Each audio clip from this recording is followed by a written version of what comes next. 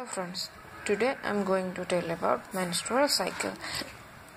Before going to tell the detail about the menstrual cycle, I would like to tell that there are other types of cycle present in mammals. So there are two types of cycle including uh, menstrual cycle. One is the menstrual cycle as I told and other is estrus cycle. But, uh, I am mm, going to show you the major differences of menstrual cycle and estrus cycle in animals. Men- first, menstrual cycle. Human and many other primates like monkeys, apes have menstrual cycle.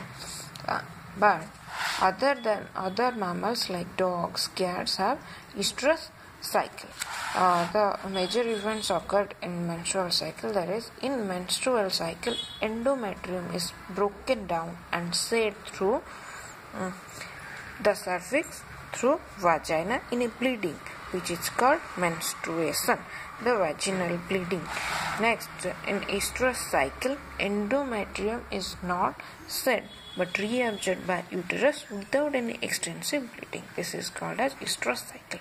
Estrus cycle is also called as heat period because uh, during this time the body temperature of the animals is slightly higher than the normal body temperature. In mammals having estrus cycle, the period surrounding ovulation is called estrus. It is also called heat um, that I have told or heat period.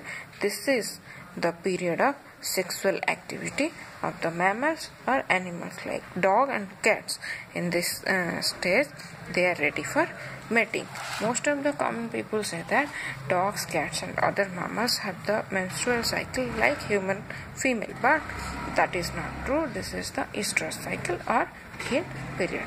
Uh, this is all about the um, menstrual cycle and estrus cycle. I have uh, show you. And thank you friends. In my next video, I will tell about details of the menstrual cycle. Thank you.